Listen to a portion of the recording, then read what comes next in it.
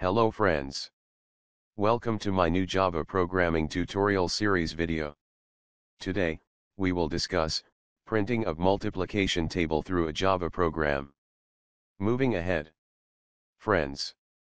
First let's discuss, what is a multiplication table? A multiplication table is a list of multiples of a number, typically from 1 to 10.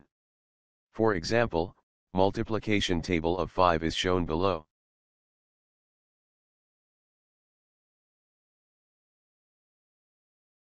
Friends, let's move ahead and discuss how to code, and print multiplication table of a number through a Java program.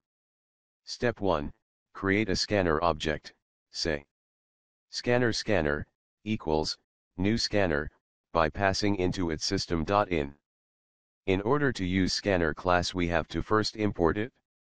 Here scanner class will read values from the console which user enters.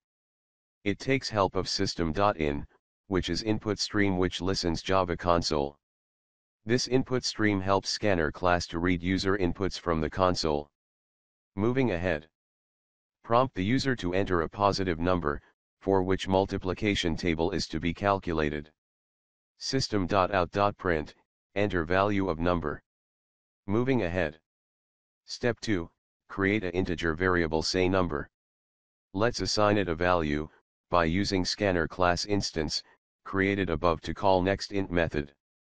This method of scanner class takes in the user input from the console in the form of integer value and assign it to number variable.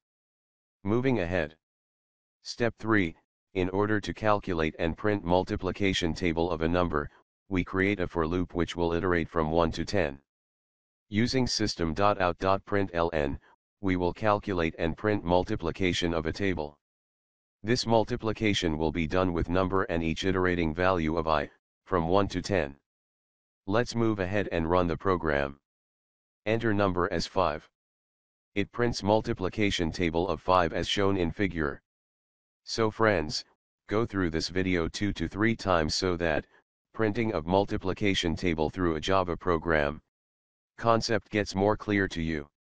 Hope you like this video. Please give one minute to like, share, comment or subscribe my channel, or you can visit my website at www.hubberspot.com.